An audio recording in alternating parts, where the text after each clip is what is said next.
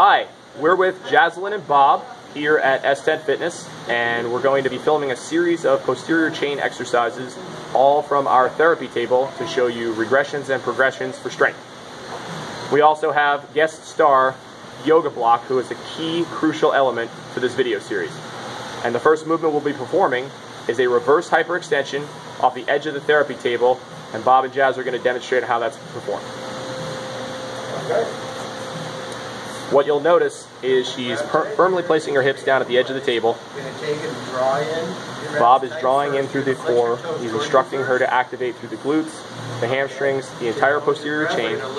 She's in neutral head position, and she's working to extension with plantar flexion. Inhale down.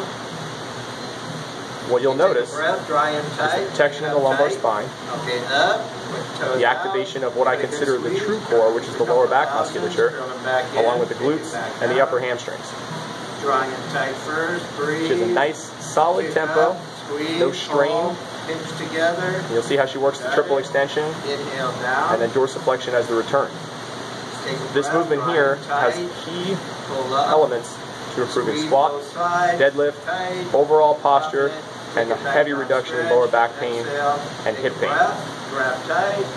Breath. Grab tight.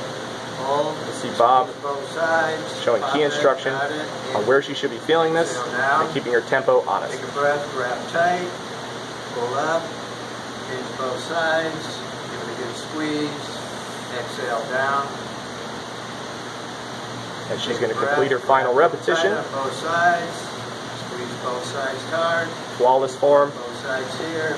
and that is how it is performed. Thank you very much. Perfect.